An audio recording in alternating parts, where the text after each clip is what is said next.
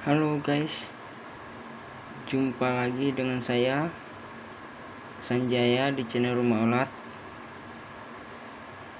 Kali ini kita bahas tentang ulat Hongkong. Seperti video kemarin, saya udah memberitahukan saya akan berhenti untuk berbudaya ulat Hongkong dan sekarang kita bahas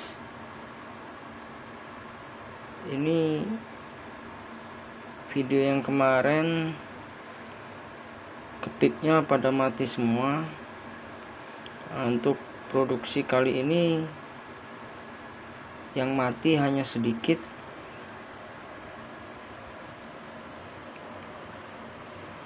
Ini produksinya sukses ya guys. Nih giliran saya udah mau berhenti. Ini kotaknya semakin banyak. Skepik semua. Udah berapa kotak? Kita nunggu sampai kepiknya habis saja malah sukses produksinya ini anakannya banyak benar ya guys. Saya lihat di sini berhasil. Kumannya juga nggak ada. Anaknya banyak benar di sini. Kelihatan nggak sih guys? Banyak benar yang halus. Tuh kecil-kecil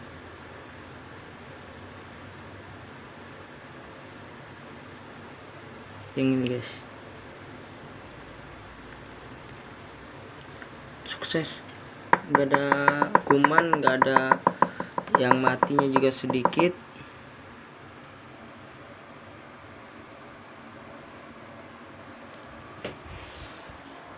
Ini satu lagi.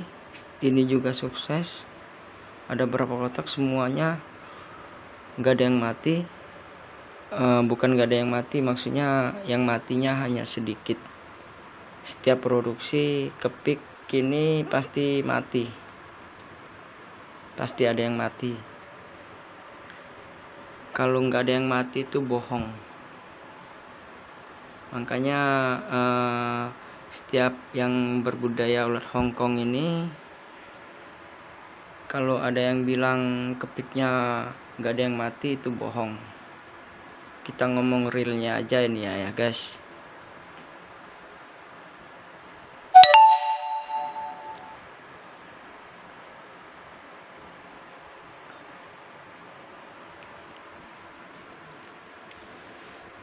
Nah, bentar guys. Masih.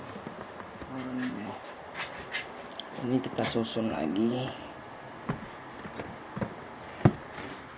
Nah, untuk kalian yang mau berbudaya ulat Hongkong yang bagi kalian pemula kawan-kawan berbudaya ulat Hongkong ini ya pengen saya bocorin semua rahasianya tapi ya takutnya ya nanti dulu lah. Oke okay guys Nah, untuk teman-teman yang suka bertanya, kemarin itu kepiknya mati semua karena uh, pemberian pakan telat, terus pepaya mudanya juga nggak muda ya, masih ada uh, termasuk tua, makanya banyak yang mati, banyak kuman ini bukan karena medianya uh, suhu ruangan juga ke, uh, kemarin juga panas terlalu panas ya. Jadi semuanya itu berpengaruh.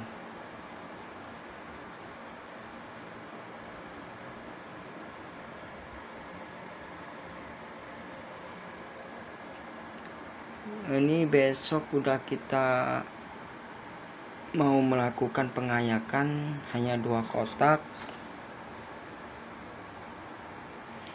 Satu kotak lagi kayaknya belum. Ada berapa kotak? Ini yang kita ayak besok dua kotak ini aja dulu. Nah ini pembibitan cuman dari tiga kotak kita eh, semakin sedikit semakin sedikit udah jadi kepompong kita pisah kita gabung jadi satu kotak. Habis kotak ini saya udah nggak mau produksi lagi. Ulat Hongkong kita produksinya ulat Jerman aja. Karena untuk ulat Hongkong ini pengerjanya sangat rumit. Sendirian terus pengerjaan malam.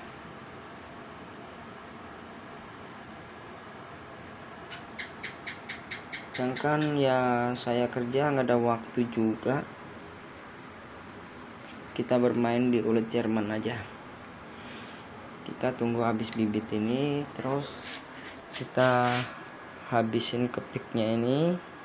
Kalau mau dibuang juga sayang kita produksi terus sampai dia berkurang berkurang dan habis kita udah kita produksi ulat Jerman aja.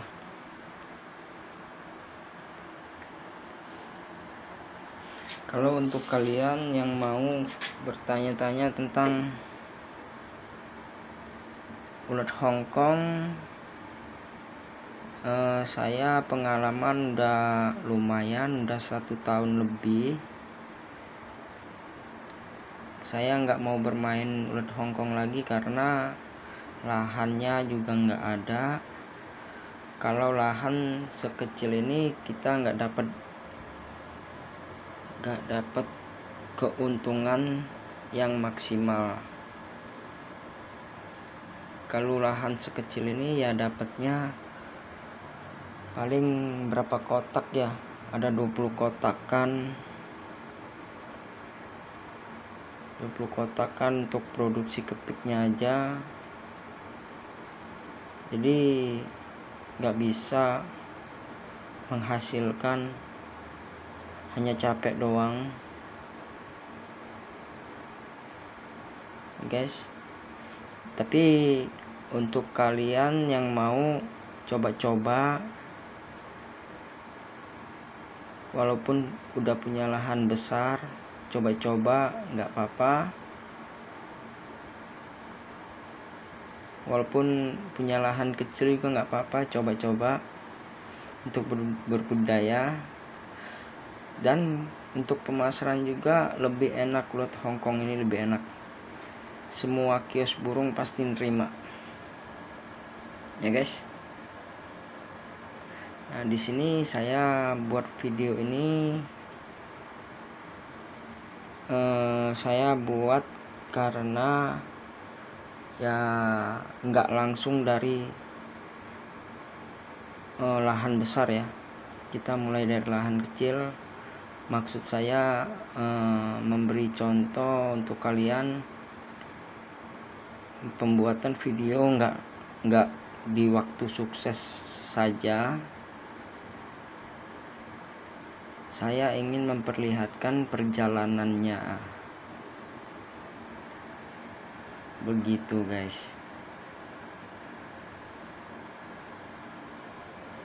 Tapi uh, untuk budidaya ulat Hongkong ini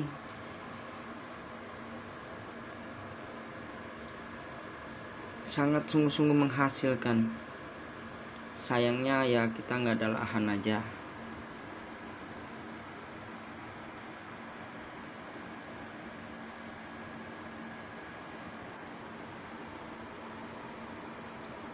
oke okay guys.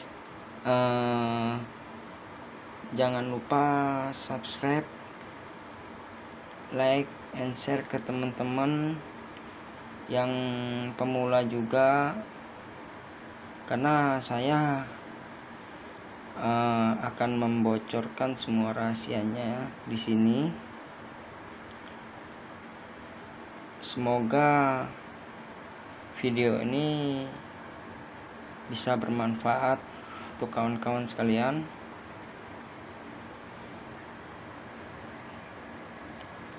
Uh, saya mau minta tolong sama teman-teman juga untuk dukungannya di channel ini agar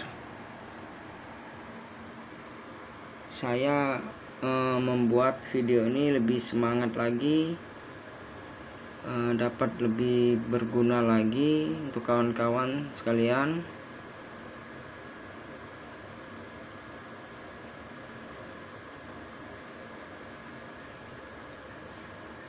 Segitu aja videonya.